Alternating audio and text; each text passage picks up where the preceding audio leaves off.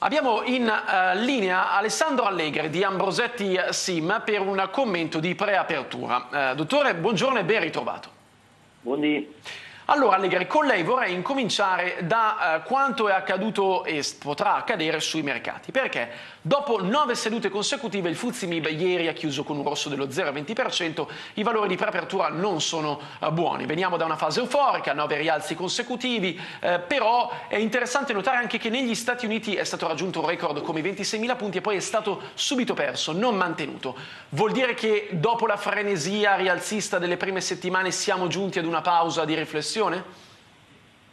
Sì, diciamo che una pausa di riflessione ci sta sicuramente, nel senso che un inizio d'anno così positivo realmente non si vedeva da, da, parecchio tempo, sia in America ma soprattutto in Europa e ancora di più in Italia, che è uno dei mercati che più ha sorpreso gli operatori in termini positivi, nel senso che ha permesso una crescita significativa in pochissimi giorni.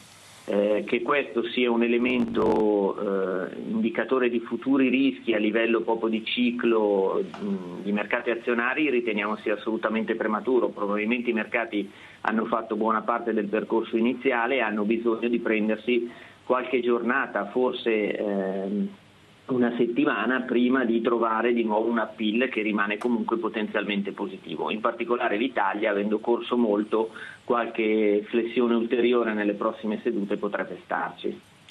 Ora, Allegri, che cosa ne pensa invece degli Stati Uniti? Vorrei parlarne eh, maggiormente perché abbiamo visto davvero qualcosa di straordinario. 5-6 sedute, si è fatti mille punti di eh, Dow. Leggevo anche report di un Dow Jones a 30.000 punti addirittura sulla scia della riforma fiscale. Le sembra credibile, plausibile? Già quando commentavamo, mi ricordo, i 20.000 ci sembrava una soglia remota ed erano neanche due anni fa.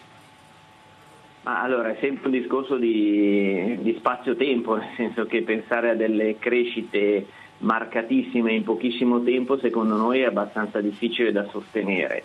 Da un altro lato il mercato è lontano, il mercato americano in particolare, da una situazione di potenziale crisi simile a quella che si è scaturita con eh, la fine con il 2000 piuttosto che il 2007, insomma siamo lontani da queste situazioni. Certo è un mercato che sta crescendo molto con volatilità contenuta e quindi eh, difficilmente potrà proseguire con questi ritmi, però non vediamo una situazione di crisi potenziale. Il ciclo economico sta riprendendo anche in Europa in maniera molto, molto significativa e questi sono tutti elementi che dovrebbero sostenere i mercati. È possibile che l'America inizi a, a, crescere o si stabilizzi in termini di quotazione e lasci spazio per un flusso di capitali verso mercati che sono molto più indietro in termini di crescita e tra questi sicuramente l'area euro.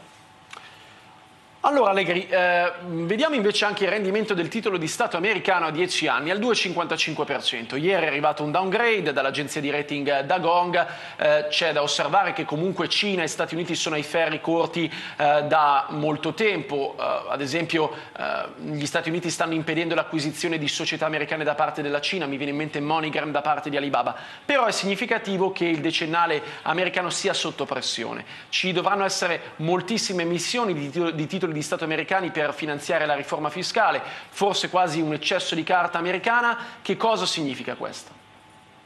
Ma una parte del movimento rialzista a livello di tasso sul decennale sicuramente è stata fatta.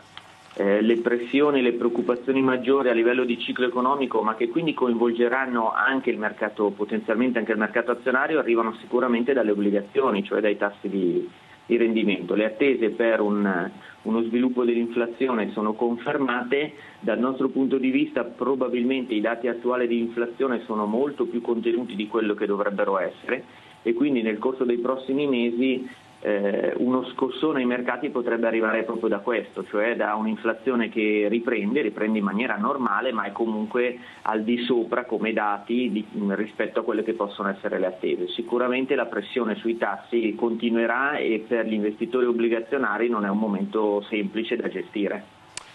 In chiusura uno sguardo anche al mercato del petrolio perché è significativo che ad esempio la soglia dei 70 dollari al barile non sia stata bucata, siamo a 69 dollari e 15 centesimi credo valutazioni eh, del Chicago Mercantile Exchange sul future a 30 giorni per il Brent.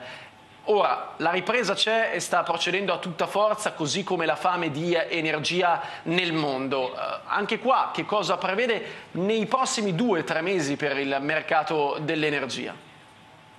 La soglia di 70 dollari è anche una soglia psicologica importante, il fatto che non sia riuscito subito in questa fase a, a superarla ci preoccupa relativamente, nel senso che il mercato del petrolio sta dando comunque delle indicazioni di, di forza non indifferente, quindi i target sono verso l'area 74-75 nei prossimi mesi e molto probabilmente il mercato avrà bisogno di qualche settimana di stabilizzazione che può essere anche un'occasione interessante se vedremo delle flessioni significative per poi andare comunque tendenzialmente verso i numeri che, che vi ho detto, quindi comunque l'apprezzamento di, di petrolio per noi rimane confermato.